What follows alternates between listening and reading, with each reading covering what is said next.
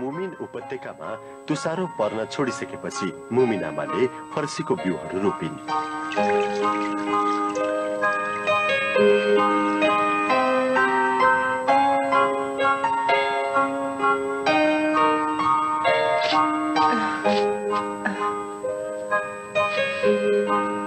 सिद्धियो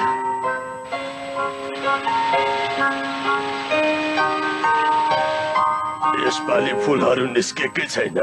फर्सीको बिउ धेरै अगाडि दिएको थियो। सायद पुरानो भएर हो कि? होइन होला। दुई थरीको फुलहरू फुल्नु पर्ने हो। तर मैले देखेकी नै छैन।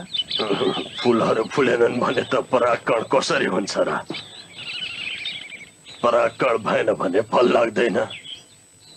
अब फर्सी फल्ने आशै नगरौँ होला। साँच्चै आसमारे हुन्छ होला मुमिन आमा।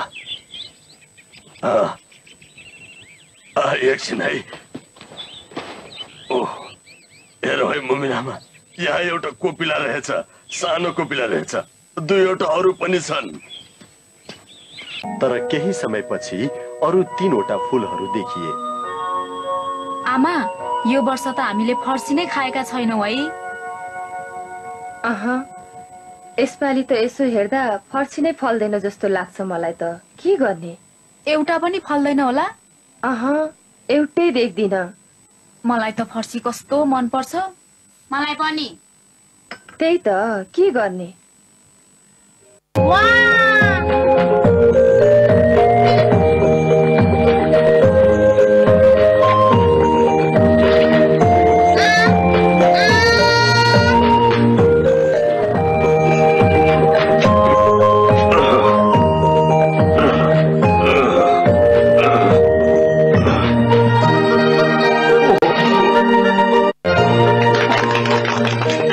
त्यो दिन उनीहरूले सबै खानेकुरा फर्सीबाट बनाएका थिए।